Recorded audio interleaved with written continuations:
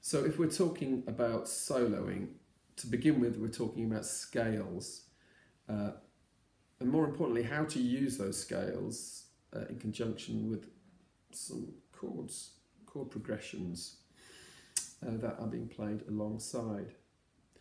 So there's lots of scales, however, we can start with just a few, and then it's really a question of, of how to use those effectively to make them musical. But we might start off with a minor pentatonic scale and change it by adding a few notes and then play it in threes. And these are just exercises really to get fingers used to playing the, the patterns.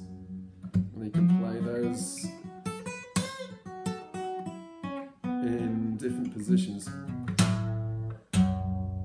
to get an idea of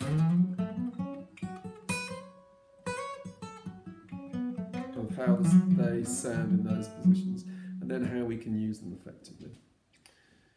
Um, and then, but playing together, we would we would work on scales and work on playing them alongside a range of chord progressions. Minor pentatonic is is just one scale, but a very commonly used scale, and one that can be used with blues for a starter. Okay.